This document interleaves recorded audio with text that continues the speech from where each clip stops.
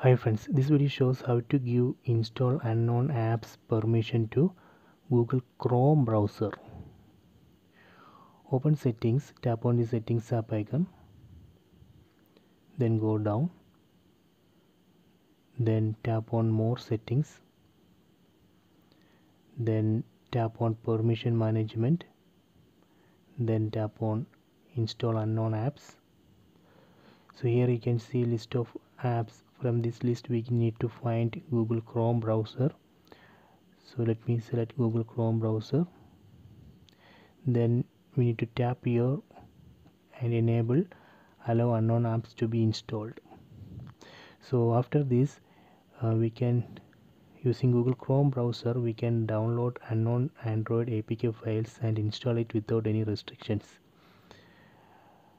So this way we can give this permission to Google Chrome browser